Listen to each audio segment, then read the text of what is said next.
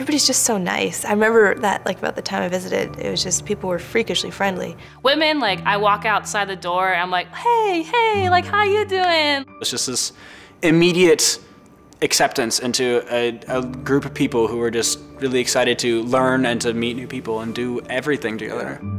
People are very open to um, like meeting a prospective student. You know Prospe, you see the manila folder they're carrying around and um, they ask about you.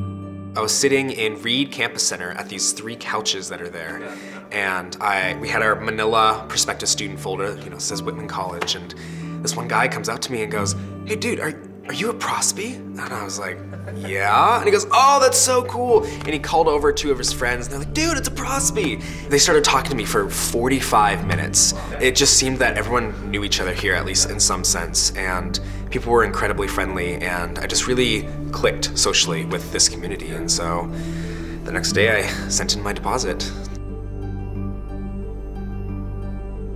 We all are kind of rooting for one another. So when, you know, a friend of yours succeeds, get a, gets a scholarship or grant or an opportunity to go abroad and study, it's, you know, everyone's happy about that. It's not just like me cheering for myself, it's like everybody coming together to cheer for each other.